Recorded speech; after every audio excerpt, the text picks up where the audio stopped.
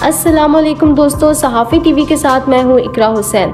दोस्तों, आज मैं आपको घोड़े की आँखों पर लगाए जाने वाले ब्लैक मास्क के पर्पस के बारे में बताऊँगी कि इसका पर्पस क्या है।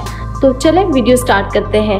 वीडियो की तरफ़ आगे बढ़ने से पहले अगर आपको ये वीडियो अच्छी लगे तो प्लीज़ लाइक एंड शेयर लाजमी कीजिएगा और हमारे चैनल को भी सब्सक्राइब करें ताकि हर न्यू वीडियो की नोटिफिकेशन आपको मिलती रहे। हॉर्स ब्लेंडर बहुत सारे ऐसे लोग हैं जिन्हें राइडिंग करने का बहुत ज़्यादा शौक होता है।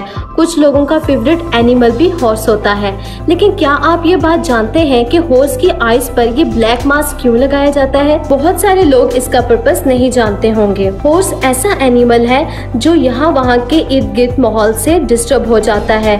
जब वो अपने आप को अनसेफ फील करता है तो वो तेज़ी से भागना शुरू कर देता है, जिससे सारा माहौल डिस्टर्ब हो जाता है। इस वजह से इसकी आइस पर ये ब्लेंडर लगा दिया जाता है, जिससे ये यहाँ वहाँ ना देख सके। इससे इसका कंसंट्रेशन लेवल भी स्ट्रॉन्ग हो जाता है। अगर वीडियो अच्छी लगी हो तो please like and share last में कीजिएगा।